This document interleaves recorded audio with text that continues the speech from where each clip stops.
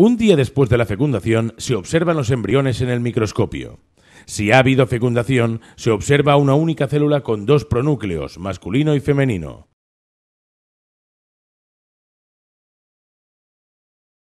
Dos días después de la punción, el embrión se divide y pasa a tener dos células con un núcleo por célula.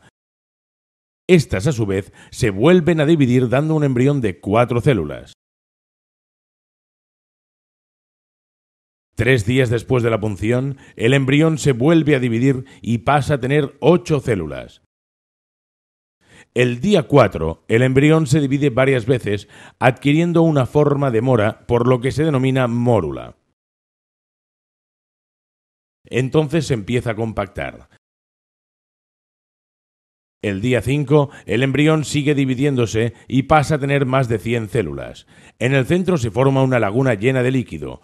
Posteriormente, el embrión se libera de la membrana que lo rodea.